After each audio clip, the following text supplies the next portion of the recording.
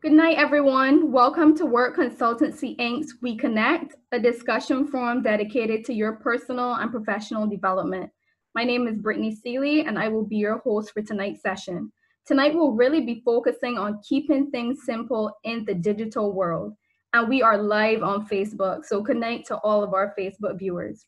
We're expecting a very enlightening session tonight, so I would encourage all of you to take a video or picture throughout the session and post it on your story, tagging us at work Barbados underscore, and that will be in the chat. So tonight's session is absolutely free. So if you know someone who can benefit from this information, don't let them miss out, okay? Just some housekeeping before we begin. All of our sessions are recorded. During the presentation, feel free to leave your questions and comments in the chat. And if you wish to make your contribution verbally, simply indicate by raising your hand and we will unmute your mic. So let's jump right into the session. Tonight's speaker is Liz Stanton. She is the senior advisor and presenter. Liz served for 25 years as an officer in the Cheshire Constabulary working with the most vulnerable in the community. After a decade in the field, Liz played a vital role in developing and implementing the Forces Safer Schools and Young People Partnership Model. It was for this work that she received the Order of the British Empire, MBE Award, which was presented in 2013.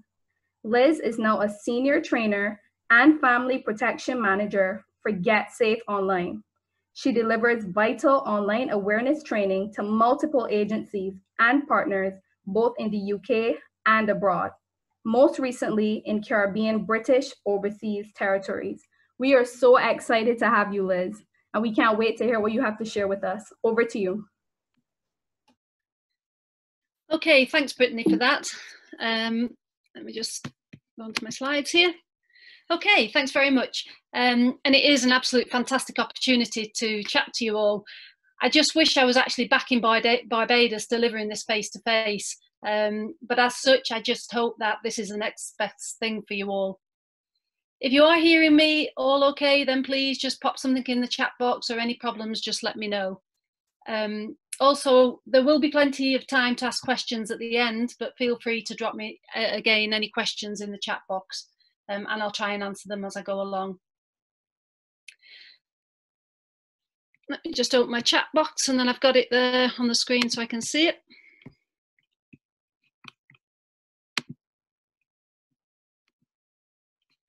Brilliant. Hearing me, that's absolutely brilliant. Thanks very much, Chantel.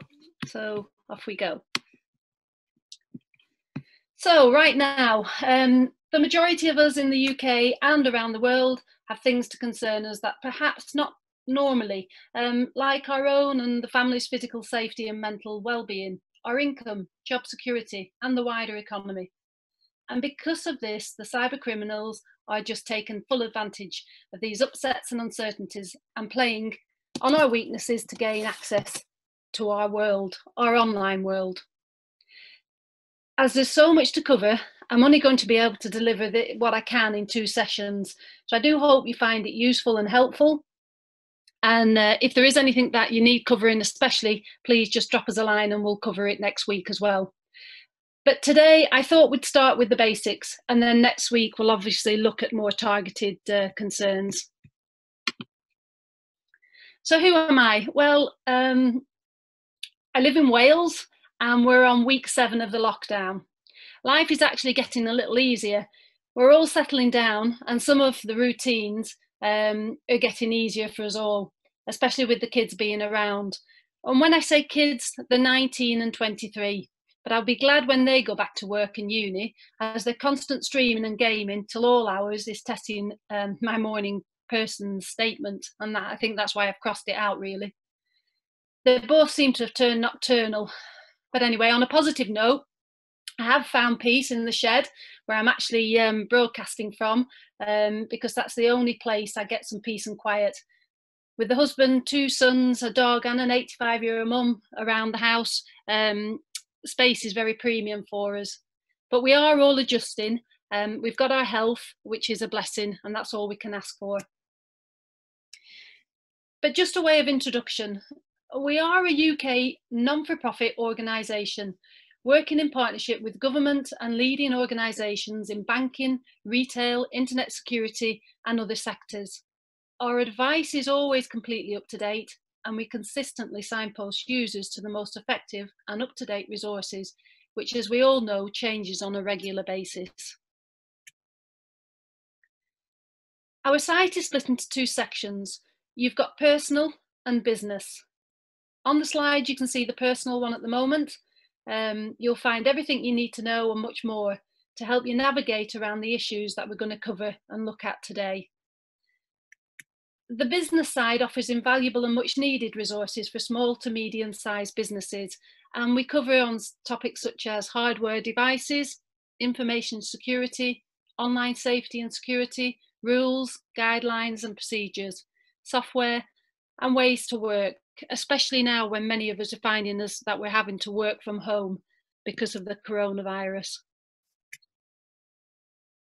But what you may not know is that you've actually got your own site. GetSafe Online has had the opportunity to bring these services to the Caribbean as part of the UK's Commonwealth Cybersecurity Programme. It's fully funded by the programme and the services come at no cost to the people accessing them. You can access your site, which reflects local needs and concerns, by either clicking onto the flag on the Commonwealth site or actually going direct to your site using the www.getsafeonline.bb. The information is easy to follow and lots of videos to watch and you can always pop over to our site if you need to check on see what we're doing as well. So before we start, let's just remind ourselves why technology is brilliant and so much fun. There is so much negativity out there on the press uh, and on the web, but actually technology, you know, it is brilliant. Just watch this.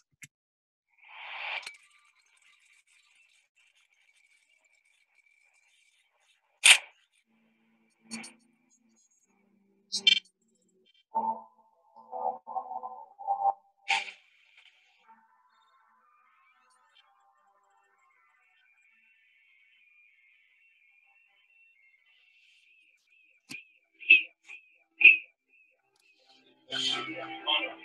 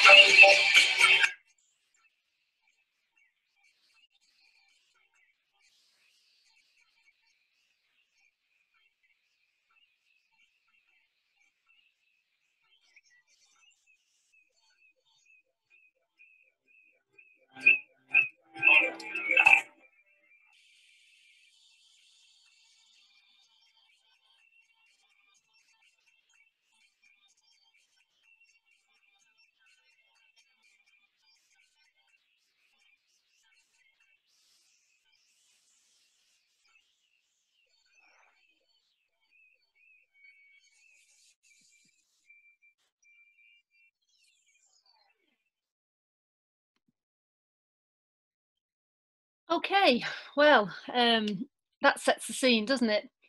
So let's have a look at these figures, January 2020. These figures just shows the digital, mobile and social media has become an indispensable part of everybody's lives. More than 4.5 billion people are using the internet at the start of this year, with social media users at 3.8 billion mark. For criminals, it's far easier for them to sit be behind a keyboard and just either target or chance their luck. These figures just show how many potential targets they can choose from.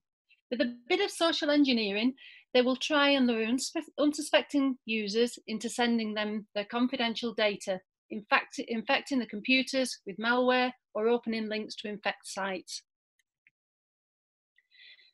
But let's, before we move on, I just want you to think about what do you like doing online and which devices do you like to use? What devices have you got at home and what are you using? Some of you have probably got quite a lot of devices that you've got at home. Um, but I just want you to think about what actually do you do online. I'm guessing that it would be something like this. And when I ask, shopping is usually always at the top of the list. So let's face it, the internet is a fantastic tool with opportunities that allow us to do things that we may never be able to do in the real world. But whilst you're searching and living your life online, remember, everything you look for can be saved by your search engine for up to six months.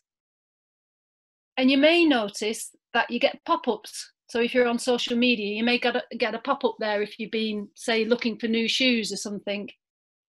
It all relates one way or another to what you've been searching at some point on the internet.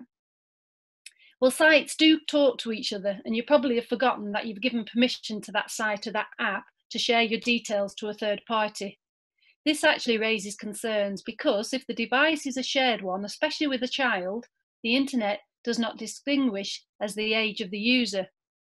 So it's always it's always a good idea to look at ad blocks, parental controls, and separate user profiles, especially where children are concerned. All of which we go into the into this on the our details into it more on the website. But when I asked to think about what devices do you use and what devices you've got at home, did any of you think about smart devices? This is quite a list, but obviously it's not an extensive list at all. Connected devices and toys can be find, found in most homes and have changed how many of us go about our daily lives and how our children interact and play. What's the first thing you actually reach for in the morning? I bet it's your actual mobile phone because most of us use it as our alarm clock. And when you turn it, when you go to it and turn your alarm off, you're then looking maybe at your social media, the weather, you're just checking your emails, and before you know it, you're late for work. But let's just have a look at this. Because we take smart devices for granted, it's easy for us to forget about them. So it's actually worth looking at what potentially compromises you and your family. Apart from your data being unintentionally shared by the devices, there's an additional risk from devices which can actually designed for communication surveillance, for example, smart speakers and cameras. It's wonderful that your fridge recognises that you might need more milk, but imagine coming home from work and finding your freezer defrosted. But what about the baby monitor that starts playing music or talking to your child? Now that is scary. So as a starting point, it's essential that you change your passwords from the manufacturer's default and register the warranty so that if there are any updates, it, they will be done. Also be wary of purchasing cheap or second-hand devices as they may not have the same high standards or may possibly already be corrupted. Also, if you're thinking of selling or disposing of any of your devices, or passing them down, or even passing them up to elderly relatives, you must wipe them clean first, otherwise, somebody else may just benefit from the information that's been left on them. Remember, anything that can be connected to the internet, internet can be compromised, hacked, or corrupted. So it's worth treating these devices as if they were your mobile phone. These too need updating and keeping secure, so it's worth checking what devices are connected. And if you don't need them anymore, turn them off or just connect from the Wi-Fi. So we're just going to take a little bit of time and actually look at what the threats are out there. These threats are universal and some have been around for many years. They may be old, but the criminals are getting smarter and are making them more complex. The one thing that these things, these have all got in common is that they are victim operated. They play on your lack of awareness and exploit these weaknesses. I'll go into more detail as we go along, but let's just pick up on a few. Malware pops up everywhere, but there are things that you can do about them to stop them. Phishing, well, you may have heard that term. It's a type of online identity theft. It uses emails and fraudulent websites that are designed to steal your personal data or information such as credit cards, passwords, account details, and other personal information. Smishing is a form of fraud that uses mobile phone text messages and that lures you into calling back a fraudulent phone number or visiting dodgy websites or even downloading malicious contents. And then vishing, again, this is when somebody rings you and tricks you into revealing critical financial or personal information. And then just think about your apps. Where do you download things from? There are so many rogue apps out there. It's so easy to create a new app and redirect people to that app without many knowing it's not a real one. So be careful that you actually only use recognized stores like Google, uh, Google Play, Apple Store to download your apps from. And then looking at geolocation, fitness apps, social media, and when taking photographs can all identify where you are at that given time. There are some positive reasons to keep them switched on, but I'd really ask yourself first, what benefit does the app offer if you were to leave the location switched on? And then think about lost or stolen. What would you do if your phone was stolen? It's always worth knowing how you can remotely wipe or lock your phone if it does get ever get lost or stolen. And don't forget to back it up as well. Imagine losing all your photos. With downloading from an illegal or dodgy site, you're not guaranteed what you're going to get as well. So just be careful about downloading things on your phone as well as your, your laptops and other devices. Because once you've clicked and the download begins, you could potentially be downloading malware as well, and you wouldn't even know about it until it actually presents itself. And then we've got complacency and lack of confidence. You may think it'll never happen to you, or you'll deal with it when it happens. Well, then please think again, as it may only be a matter of time, because it may already be happening now.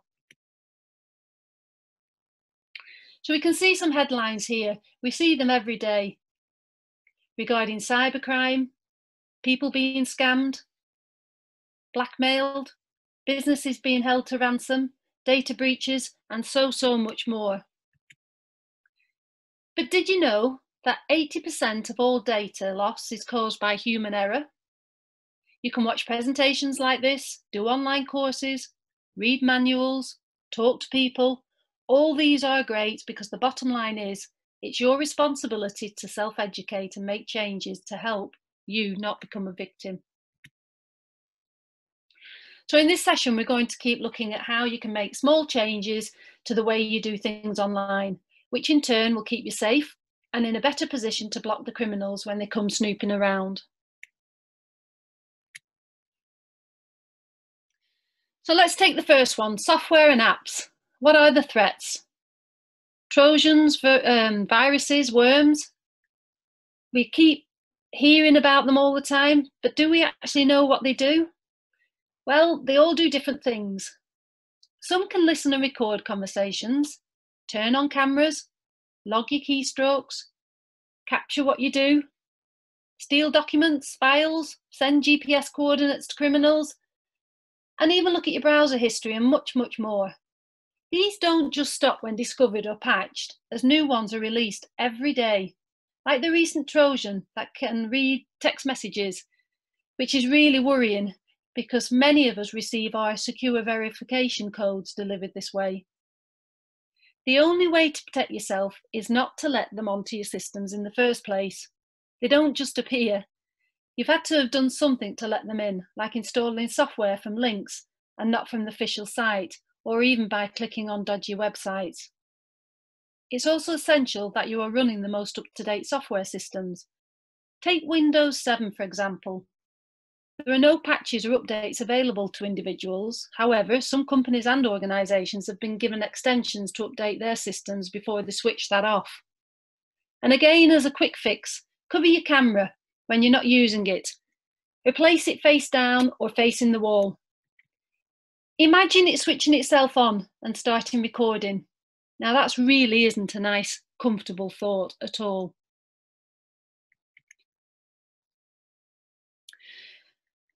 So again, looking at internet security and what can we do? Well, check what's available already on your devices. Install the latest software and app updates and ensure they're switched on to update, upgrade automatically. And don't forget to register any smart devices with the company so they can also be updated when new patches are released. If the phone is bought from a phone provider, then it should already have antivirus installed, but it is worth checking anyway. Remember, Trojans don't just appear, it's you who've let them in. And you may have heard the term jailbreaking. Well, this is when you switch off software restrictions, which then leaves your phone vulnerable to everything else. So if you are buying a second-hand phone, just check it is it hasn't been jailbreaked. And downloading and clicking on dodgy websites aren't the only way to infect your devices. And many people use the computer as a charger for the phone, or they'll use a USB memory stick for storage. If these have been infected, then the malware will just transfer onto the computer too, and vice versa. So make sure you keep your backup device separate and secure from your computer, and don't just leave it in attached all day. There is an argument to be had in that some say Apple devices are immune to malware. Well, it's very rare, but there has been and will continue to be developed malware that will attack Apple devices. So as the nature of cyber attacks continues to change, I think it's important that every user does what they can to protect themselves and obviously others as well, whatever system you use. And looking at backups, how, how would you feel if you lost everything or your device was locked um, or as I say, even, even stolen? Have you thought about backing up your devices, even your phones? It is important to get into the habit of either downloading onto a memory stick or a hard drive. If you back up this way, just be mindful that about the uh, the malware. But what about secure cloud services? That's absolutely brilliant. But before you actually start using them, do your research. Check how they hold your data and who has access to it. And do a little bit of snooping around. Find, find out if they've had any breaches in the past and how they've dealt with them as well.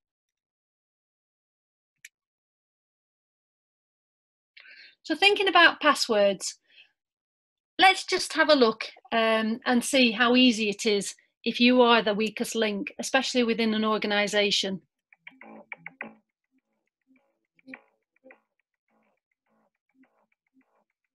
Did you decide to become a hacker? Well, I'm not really sure what it means to become a hacker.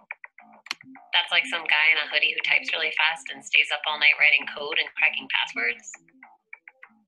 It's not me. I just spy on people and see what makes them click. It's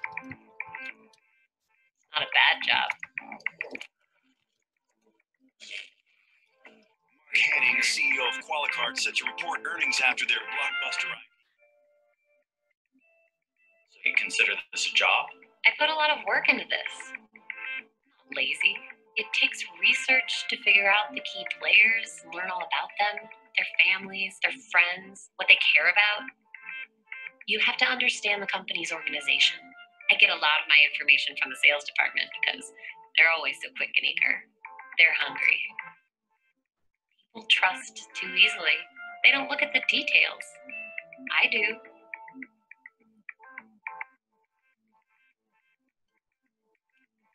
Details matter. That's what I'm good at. It has to look completely believable. It has to look familiar. This is where research is important. It's not some generic piece of spam. It's an email from their boss with their company signature. It's written in the voice of the boss. It's what he would say if he were writing this. What about the malware itself? How does that work? Somebody else out there already wrote all the code that does the actual attack. I'm just using it in the attachment. My skill is in my ability to get a bunch of people to click on that attachment.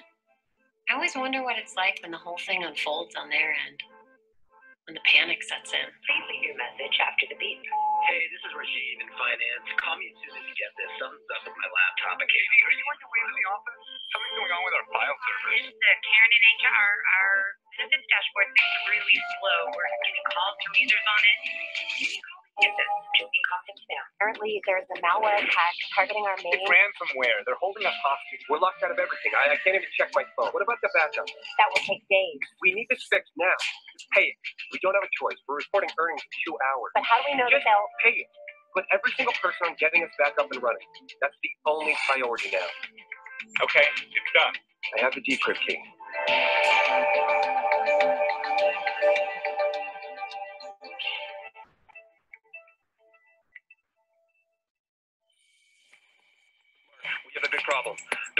Was just to distract us. They got inside. They got everything. Customer data, financials, everything. Qualicart is reeling today from the news that hackers have released the personal information of nearly The 2 Nasdaq million closed customers. lower today, led by Qualicart, which was down 14% on news that their recent data breach may be far worse. The company Its stock fell to a new all-time low on news that CEO Mark Hanning is stepping down after what is turning out to be one of the worst breaches of personal information in recent history. Feel bad about releasing the personal information, all the financials, all the money that was lost?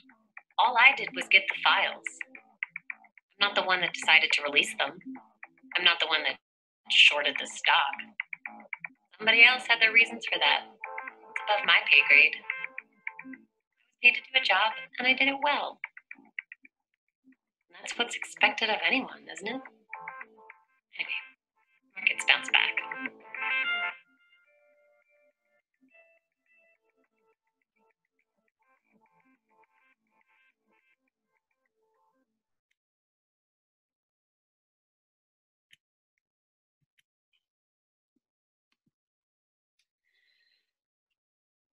Okay, if we all pick ourselves up off the floor, that's quite um, a, square, a scary video, really, just to watch.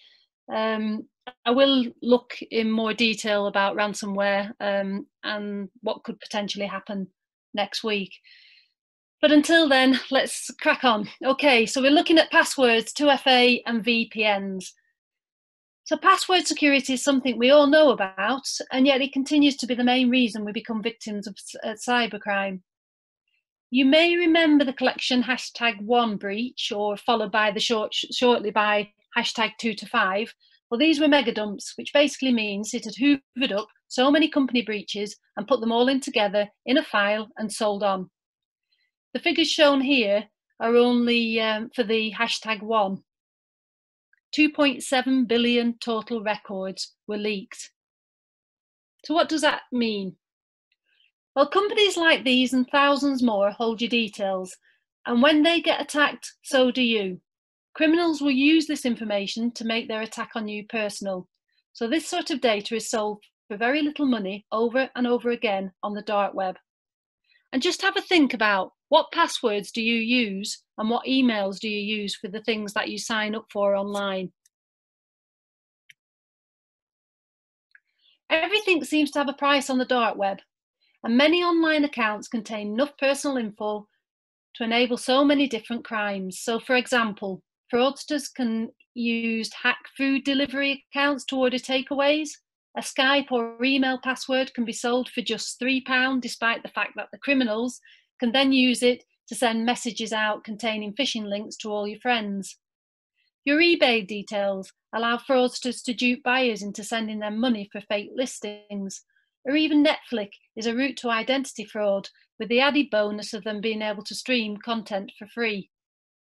And these figures do change on a regular basis, as it all depends on the demand. So it's simple, really. Using the same passwords for all your accounts makes you vulnerable, and weak passwords can be hacked in seconds. However, if they are done correctly, they give you a free, easy, and very effective method to prevent unauthorized access. But first, let's see how easy it is to give your password away. You know, we've been hearing a lot about cybersecurity lately, largely because of what happened to Sony. Companies and individuals are more concerned about the safety and privacy of their information than ever. President Obama has unveiled a number of new proposals this week to crack down on hackers, and he plans to address this in the State of the Union speech on Tuesday. And it's great that the government is working on this, but the truth of the matter is, we need to do a better job of protecting ourselves. You know, the most popular password in the United States is password one two three, and as long as we're as long as that's the case, we're vulnerable. So today we sent a camera out on a Hollywood Boulevard to help people by asking them to tell us their password, and this is how that went.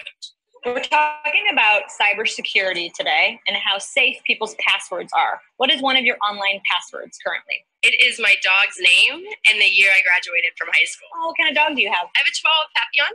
And what's its name? Jameson. Jameson. And where did you go to school? Um, I went to school back in Greensburg, Pennsylvania. What school? Uh, Hempfield Area Senior High School. Oh, when did you graduate? In 2009. Oh, great.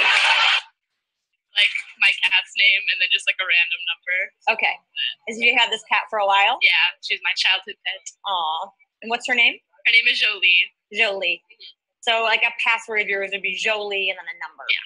Like number one. Uh, like my birthday. Oh, when is your birthday? Uh, June 12th. Oh, nice. And what year were you born? Uh, 95. Oh, great. So Jolie, 6, 12, 95. Yes. Got it. So you mean to give my password right now? No, I cannot do that. But we all want to know what it is so we can tell you if it's strong or not. Oh my goodness. Uh, um, let me think. Okay, one is Tel Aviv. Yeah. Four, six, eight, and then Israel. It's it's only three, but it's you know it's uh for me it's strong enough. Ireland, one, two, three, four. Gemma, one, two, three. Spelled G E M M A.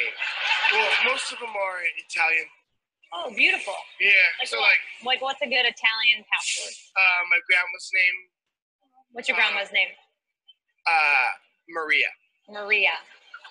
So Maria is your password? Oh yeah, now you know my password. That always makes me chuckle. It may be quite an old one, but um, but it does get the point across straight away. And I'm sure most of you are on social media, and I'm going to cover this in, in more detail next week. But I just want to remind you about the other ways criminals can steal your passwords. So with social media, everything you post is one step closer to letting the criminals in. How many of you seen posts like this on your Facebook site? You may not realise, but many of these questions are the same you use in your security questions. I'll leave that with you, and especially next week we'll cover it in more detail, as I say. So, creating strong passwords. I do understand it's hard to remember all your passwords unless you just have the one, and I'm sure that's why many of you are resetting passwords on a regular basis. But all you need to do is use a sequence of three random words and add in some special characters, and you will then have a formula which is simple to remember and yet hard to crack. Don't use anything that's connected to you personally, like your first pet's name or even your the word password even, which you'll be surprised at how many people do use that. Make the password long, at least 12 to 16 characters, and please don't share them with anybody. So use strong passwords that aren't easy for hackers to guess and use different passwords for all your accounts. Remember, it's important to have different passwords for different accounts and also use different emails as well, especially for your financial accounts. Don't let a criminal buy your Gmail password for 75p, or I think actually it's about the same $75. We're kind of like the same now. And then find it also logs you into your bank account details. And while we're talking about passwords, think about your router. Your router is perhaps the most important gadget in your home. It checks all incoming and outgoing, outgoing traffic. It's acting as a sentry to make sure that nothing dangerous comes in and nothing sensitive goes out. It controls access to your Wi Fi network, and through all that, all your phones, your tablets, your laptops, all them smart devices that we looked at before, even including your printer, goes through that. If somebody else gains access to that network, whether a remote hacker or even your next door neighbour, it can be quite quick work to compromise all those devices as well. What we recommend is changing the password required to access the router settings, as many people just leave the defaults in place. And that means somebody who knows the default passwords, or if they can guess them, could also gain an, um, access or entry. It's also a good idea to change the Wi-Fi password to it as well. Yes, I know, it means you'll have to reconnect all your devices again, but it also kicks off any unwanted uh, visitors that might be lurking around. And it's also worth it. Um, have a look at setting up guest networks.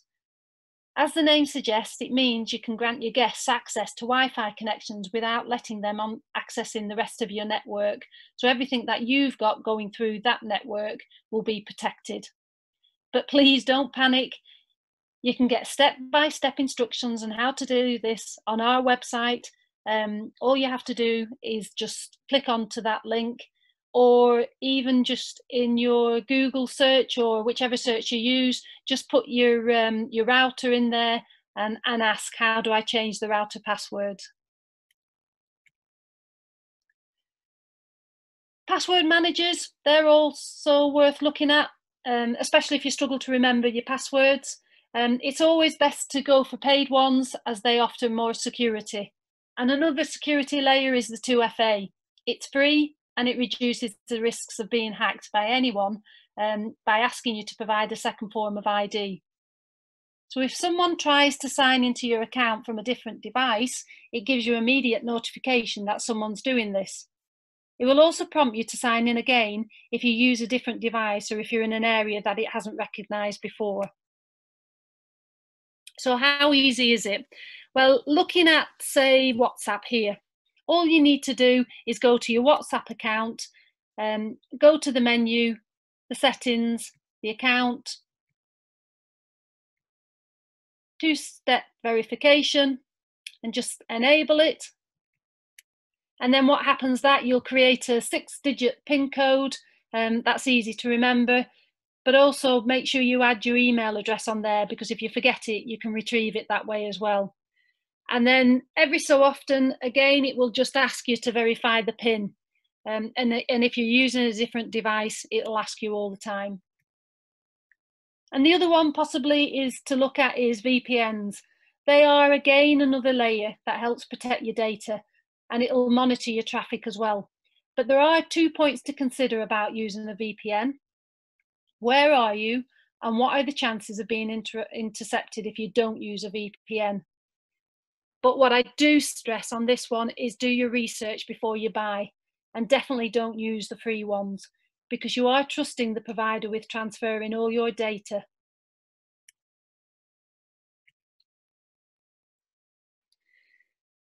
So let's just have a look, just to remind you how easy it is to create a password that you never forget.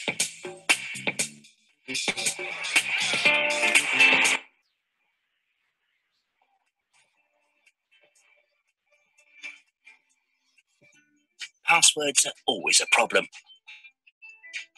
We know they should be complicated to stop the hackers, but then we can't remember them. So we go for easy ones, which hackers just love. We live in a world where passwords have multiplied like uh, rabbits. Passwords, PIN numbers, usernames. No brain, however big, can cope with what seems like millions of them. Criminals know that many of us use passwords like a, well, password, or football, or QWERTY, or even a relative's name. The fact of the matter is, if a word is in a dictionary, then the hackers can crack your password in seconds, which means they can get their hands on your cash, your personal data, even pictures of you and your family, your entire life. But a good password locks them out. So it's worth taking the time to invent one that it'd take too much effort for criminals to crack. And actually, it's quite easy. Here's how. Choose three random words that you can remember and a date that's easy to recall. Then put the words together.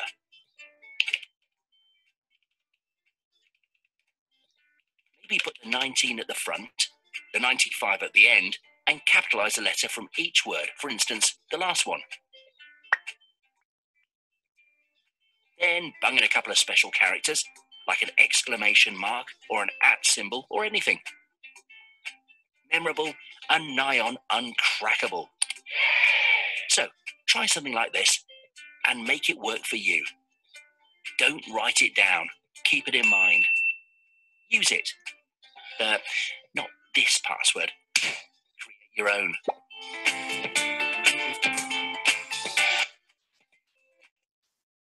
Okay, just before I move on, um, we used to always say don't write your passwords down, but that actually has changed. Um, it is okay to write them down as long as you don't put them onto your computer or stick them anywhere near on your desk of where uh, you're actually working. Put them in a little book, um, write them down in a way that only you know what they mean, and put that little book somewhere completely separate to your devices and everywhere else. If that helps you remember them, um, then that's absolutely fine.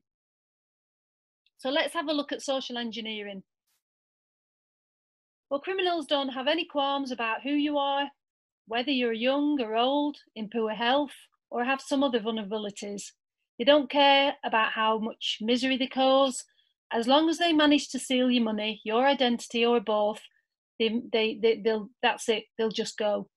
They make it seem and feel so real that you can understand why people are drawn into many of these scams and it is only getting worse.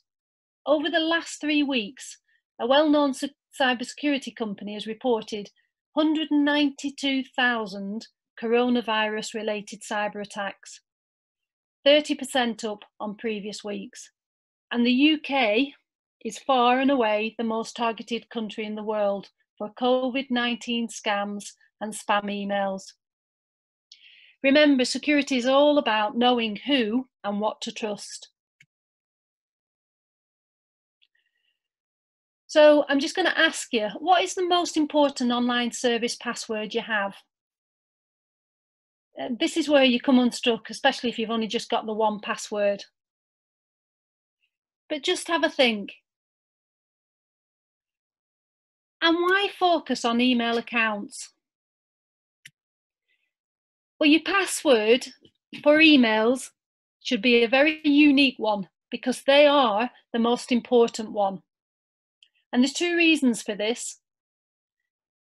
Your emails are havens for sensitive information. Remember your other half emailing you a picture of their passport? Well, this could be used for identity theft. Your parents sent you their payment details? Well, how about financial fraud? And all those accounts, registration emails can help cyber criminals know all the online accounts that we hold and give them access to them all via password resets which remember go into our inbox. And then you've got immediate verification. By compromising your email and sending scam emails out from your valid email address, they have immediate validation in the eyes of your friends and family. It's a great way for them to quickly access a high number of people to further scam. But as I say, there's lots of information on the website about these. So remember, your email account contains a wealth of sensitive information. Criminals can use your email um, to reset passwords, to obtain personal and financial information, such as bank details, your address, your dates of birth, leaving you vulnerable for identity fraud and theft. So secure your email accounts by using a separate password for each email account you hold, and plus enable the two-factor verification. And make sure your email spam filter is always switched on to minimize the risk. But just be aware that some may slip through as well. And do regular health checks on your spam and, and trash boxes. Delete them and don't just let them sit there forever.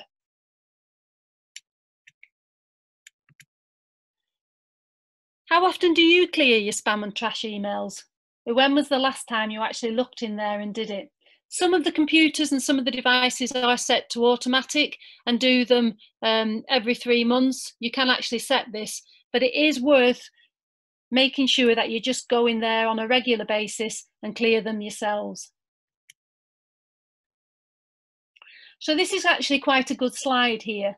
How many of you really look at your emails? And this list should help you decide if it's a genuine one or not.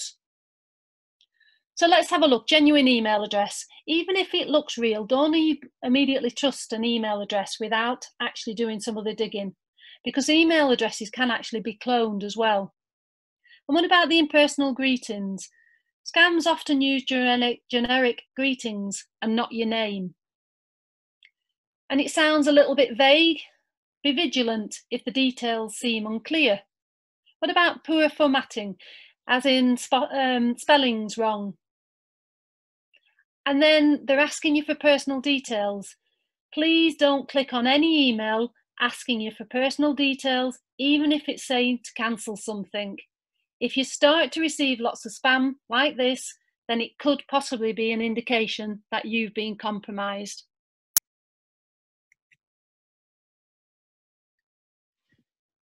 So how do phishing emails work? So take this one. It's from Netflix. It lands on your inbox and it's saying that you need to validate because your Netflix account's been suspended. When you click on it, you may not notice, but it actually says Netflix after 3.com. That actually isn't the Netflix um, website. But it doesn't say there, if you click on that link, the Netflix one there, verification, that looks real. It takes you to this and it now asks you to sign in with your email address and your password. And once you've got that stage, it then takes you to update your billing information. Notice that it's got a secure padlock on there. It's asking you for all personal details, mobile numbers, and even your date of birth. And then the last page it takes you to validate your payment. Again, it looks genuine. But the worrying thing on this one as well, it's asking for all your credit card details, your expiry date, your account number, your sort code, and even your mother's maiden name. And I know for sure that's one of your security questions for your banking as well. But don't worry, if you get something like this and you click on it and you get to that stage and you fill your details in, and then you realize that actually this is a scam, what you need to do is come off it quickly straight away, sign into your Netflix account, um, by going through the, the website and then change your password straight away. If you get to something like this and you've put your details in, then you do need to notify your bank as well. So just take a moment and have a look at this. Can you spot the mistake? The email is a genuine email. It has actually been a cloned email. and everything else on there looks genuine. Some of you may have spotted it. It's actually the only one mistake on this one is the spelling. It should actually be an A instead of an E at the end. But everything else is genuine. Always treat every email as if it's a scam until you can prove it otherwise. Pick up the phone and speak to somebody if they're asking you to do it use the telephone number that you've got off your account, off the paperwork that you've got, or even just Google the telephone number. Do not use the telephone number that they're asking you to ring. And certainly never give out um, or click on any of the links that they're asking you to do. Do your homework. And then we've got vishing and smishing. Well, this is another way the criminals will target you.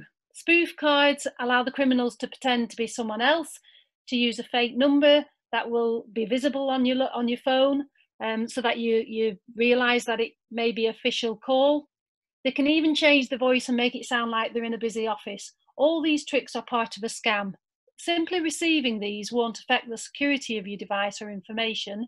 You've got to respond to them. You've got to give them details or reply to the message or click on the link.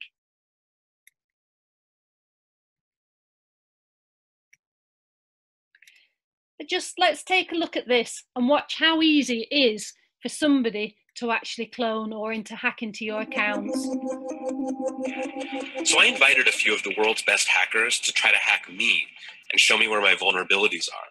And now I'm going to meet them in Las Vegas for DEF CON, the biggest hacker convention of the year. They're going to hack me using social engineering, which is essentially hacking without any code. They just use a phone and an internet connection. You want to do a sample vishing call? What's vishing? Vishing is voice solicitation. And basically, um, what you do is you use the phone to extract information or data points that can be used in a later attack. Let's do it. Do you? Who are you gonna call? Maybe I'll call your cell phone provider and see if I can get them to give me your email address. I, I bet they're good. I bet they have my back. but yeah, go go for it. I'm going to spoof from your number, so it's going to look like it's calling from you. Okay. Hi, I'm actually I'm so sorry. Can you hear me okay? I my baby I'm sorry.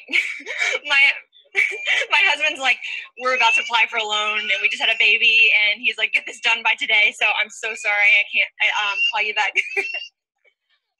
log into our account for uses information and I can't remember what email address we used to log the account. The baby's crying and um can, can you help me? Awesome. In just 30 seconds, At gmail.com. Jessica gets access to my personal email address. Now, if I needed to um, add our older daughter on our account so she could call in and make changes, how would I need to go about doing that? You would have to send me a secure pin through a text message. Yeah. Well, the thing is, I don't think I'll be able to receive a text message if I'm on the phone. I'm not on there either. So I thought when we got married, um, he added me to the account. Jess uses my girlfriend's name and a fake social security number 5127. to set up her own personal access to my account. Wait, I'm sorry. So there's no password on my account right now. Can I set that up? She even gets the support person to change my password. Thank you so much for your help today. So she just basically blocked me out of my own account. I'll get her fed after this. All right. Thank you. Holy. So they they just gave they just gave you access to my entire cell phone account. You're gonna have to go on and change your password now because it's Jess. My name. And all it took was a crying baby and a phone call. Gosh, how easy was that? Um, I would suggest if you are setting up things like this, that you do actually ask them to put on your records that nobody can change. They have to verify with you if anybody else rings in, um, even if they are using passwords. So it is worth just speaking to your providers on things. So let's just move on and look at settings. Um, let's have a look. So where do you go? Obviously, I'm I'm hoping that you go to recognized um, stores, Google or Apple Store. So you see an, you see something that you like, you click on it, um, and then this pops up: terms and conditions, policies. How many of you will just click on it? Do any of you read them? Well, it is actually important that you actually do start to read them. Um, you can change the terms and conditions, and if none of them don't allow you to change them or, or to actually to adapt them to what you want, then I would start asking, do you really need to to access this website or this app? And the reason being, just watch this little thing here. Data privacy is a serious issue. It's not like on the front of my mind. I think we are pretty secure. I honestly, I don't feel too threatened. So I'm just like, allow, allow, allow.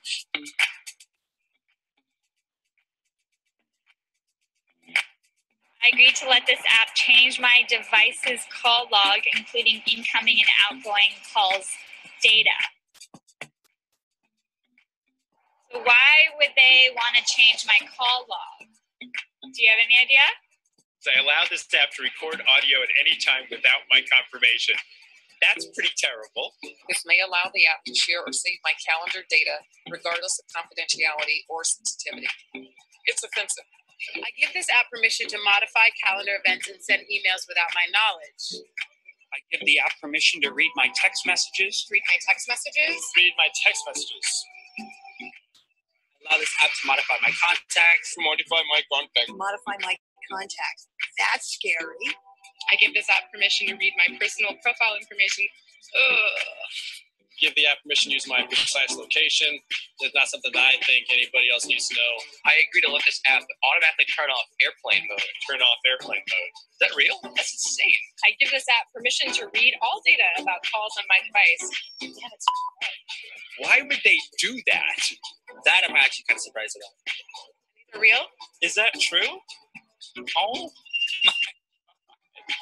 Thank you for alerting me to all this really bad. I feel like I'm giving over my life to an app.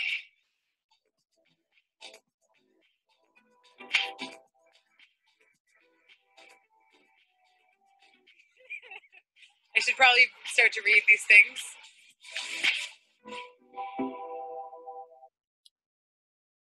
So for all them apps and everything that you've signed up to and downloaded, it is actually worth going through all of them. If you don't use them anymore, please cancel them, remove them, change them. Um, because most permissions that you've given probably years ago, um, you, especially the social media sites, you, you're giving them that they can see what you search for, you, you interact with, your chat history, friends list. It just goes on and on and on, and locations. So if you don't change them or delete them, they will stay, and you've probably signed up to them saying that they can pass your data, details on to third parties as well. And that's where you start to see all your information um, and emails coming through offering you holidays and, and everything else. The other thing is, um, when you're looking on for your websites, please just get rid of them.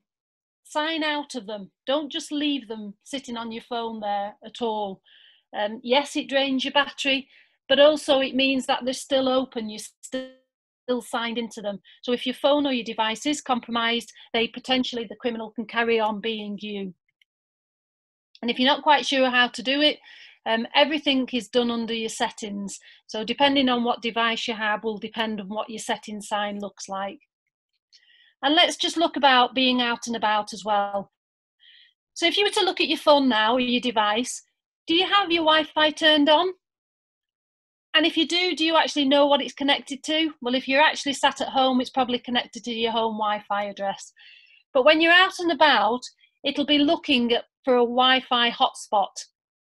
And what we say about that is presume all Wi Fi hotspots are insecure because they probably are.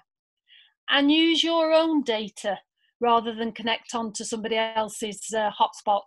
And if you can, use a paid for VPN. Let's face it, Burger King sells food, not security, because it's so easy to set up a spoof Wi Fi. You can see here a little device, it's called a pineapple. But basically what that does, it sends out a Wi-Fi signal and it's looking for devices to connect to it. And your device will be, if it's switched on, will be searching continually for a signal.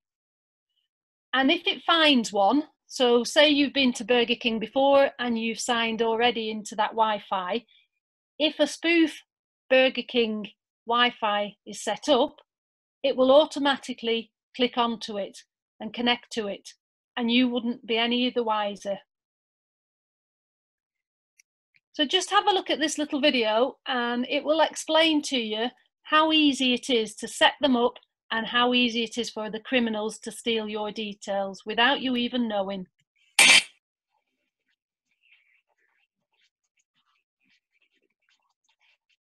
The use of public Wi-Fi in restaurants, malls, and airports, well, it's convenient and also it's risky. Hackers target places like that, trolling for personal information that they can use to steal your identity. CNN's Ted Rowlands sat down with a former hacker to show you how easy that is to do. Inside Terminal 5 at the Los Angeles International Airport, dozens of people are on their computers. Gregory Evans is a former hacker whose resume includes two years in federal prison. We were doing almost a million dollars, if not more, a week against some of the biggest corporations in the world. We set up in a corner of the terminal so that Evans, who now owns a cybersecurity company, could show us just how vulnerable people are to hackers. I will go and set up a fake Wi Fi and watch everybody connect to it. And once they connect to it and they start surfing the internet, now, what I'll do is just grab all their traffic. We launched a fake network named LAX Free Wi Fi. Within minutes, people started connecting to it. Evans then showed us how a hacker can record everything off a computer that joined our network by tracking what I was doing on my laptop. So if they go to their bank, it'll grab all their banking information. If they go to their Facebook, it'll grab all that. Their Twitter accounts, if they're writing love letters, I can grab all of that. Or, Evans says even worse, if a hacker has enough time, spyware can be installed, which stays with the victim. You get on the plane, you go to one country, I go to another.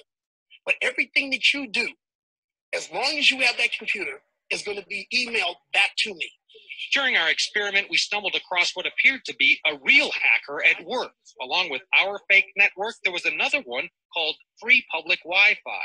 Airport administrators told us T Mobile is the only authorized Wi Fi provider. So you think that there could be a hacker here right now? That's correct. Catching and prosecuting a hacker, especially at an airport, is extremely difficult. EJ Hilbert is a retired FBI agent who specialized in. Okay, I'll stop it there. But I think you get the idea. Um, public Wi Fi, if you can help not going on it, um, it's a little bit more secure. I'd certainly use your own data if you can. And talking about data, transferring data usually using these tools are quick and cost, cost nothing really. Um, however, it is essential that you set your settings right. Otherwise, you may just get something dropped into your phone that you really didn't want. It's worth checking how yours is set up. Along with keeping your phone secure, it also saves your battery when it's turned off. Um, depending on what phone you use, it, it may be AirDrop Bluetooth for the Apple or NFC for the near field communication for Android phones. Um, lots of information on the on the website about the do's and don'ts of having it switched on and switched off. I do understand that some of your uh, tracking devices, if you've got a Fitbit or something, then obviously that uses the uh, the Bluetooth. But just have a think about: Do you really need to have it switched on? Can you just keep switching it on and off um, as and when you need it? And then the other thing is location services. Just having a look now. Um, which does this apply to you? I've got your location services switched on for absolutely everything or turned off for everything, or you're just careful about which apps can use your location. And I guess some of you may out there not really know about location services or how to change it. But it is important and it's certainly worth looking at um, who's tracking your location. You don't have to have it turned off completely, but I would recommend that you look at your lo location settings for each app uh, and, and set it so that it's, it's applicable to that app. Not every app or website needs to know where you are or that you go to your friend's house every morning or every night at a particular time. Because obviously, if some criminals can actually then start to uh, track what you're doing and where you're going. So let's have a look. Um, notification settings, that's the other thing. Whatever device you use, do you really need to have them switched on and pinging and flashing all the time? Manage your settings to suit your lifestyle, but remember, if you do have to have no, no, no notifications switched on, they appear on your phone, especially if your phone's locked. So you may be getting some um, sensitive verification codes sent through just think and be mindful who else can actually read them, who else is around when uh, these things are sent through, especially if your phone's stolen. So protect yourself. Three online basic rules, that's all it is. And just to recap and to start you on the right track for having good cyber hygiene, just follow these three simple basic steps. I know I've talked about quite a lot of things and you're probably thinking, where on earth do I start? But first of all, remember if you are running old systems, then there aren't any updates or patches available for them. So it's no use running an old system and then also trying to do your security soft, software updates. It's not going to match and it's not just going to happen at all. But if you follow these three steps to start with, 80% of cybercrime would be stopped. And then for those of you who are on social media, um, it is worth following the Get Safe Online Commonwealth social media channels. Um, you'll get up to date and reliable information and all, of, all about the latest scams as well. So they're on Instagram and they're actually on Facebook as well. By all means, follow us in the UK. Um, you're welcome to, to, to piggyback on us as well. So coming up next week, I was I'm going to be here same time next week, next Thursday. Um, it's Friday morning for me, um, but I was thinking about looking at keeping your identity safe and possibly looking at around fake news, communication tools like Zoom, definitely looking at social media. And then I was going to go into some more detail about the scams, dating scams, banking, about online shopping, and the one that is very uh, topical now the sexploitation scams that are there. And then looking at children, um, gaming, mental health, possible grooming, and the choices that children have out there. But by all means, drop us um, a line in the chat if you if you need to know about something else or you want us to cover something else. Just drop it in there, and I'll pick it up as we go along. So if you are experiencing any, kind of scams or intimidation or any distressing things online, please do report it to your local police. If it is happening um, right now or it's a it, it's an emergency, then ring the hotline, which is 211 but otherwise just contact your local stations. And just to remind you all that the websites are free to access and they're there for you to use any time of day, 24 7. So I'll leave the websites up for you so you can uh, you can take them down or jot them down or take a screenshot, whichever you need to work for you. But I've come to the end of the session and um, I'm just having a look through to see if we've actually got any questions there as well. I have been answering some as we go along as well. But please do, if you've any questions, just pop them in there. Or if we, if you raise your hand, we can unmute you and we can get them questions out and aired. But I'll just hand you over to Brittany now.